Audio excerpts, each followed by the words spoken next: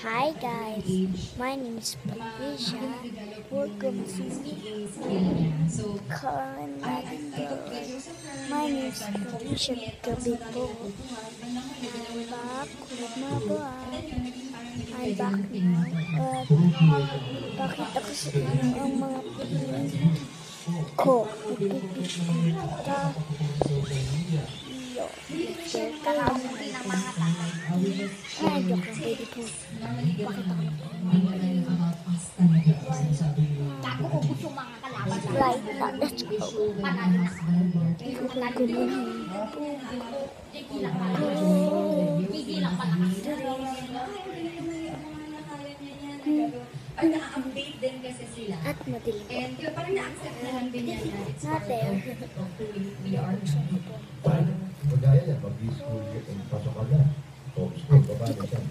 She just turned four eh, kaya hindi pa ako ganun ka-pressure So, na i-enroll online. So, siguro we'll pass mo na this school year. Baka next year, hopefully, if na. everything gets better, papasok ka din. Kasi Ito na po. Papakita ko sa Ito po.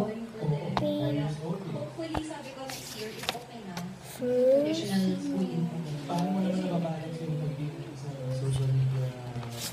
yeah, kasi ano, ang dami rin trabaho talaga kasi I manage on different brands is social media platforms nila. So, I really This make a point to do my notes talaga, daily. Kasi if I miss something, lagot ako sa boss ko. And if hindi ko rin naman masama sa checklist At eto ko po. since Po. we're at home ko.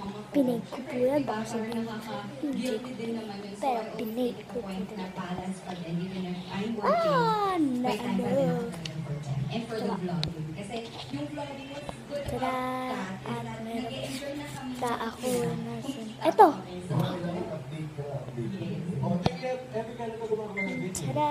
Okay. Uh, At ngayon, matagal let's do it. Because of Tsaka, uh, Puro po ako a Kaya, sa kung ano gagawin natin, nagagawin natin. At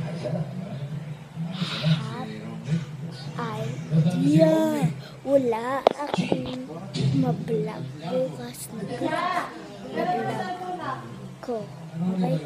Ano kayong part ko? I'm back with the vlog. Bye!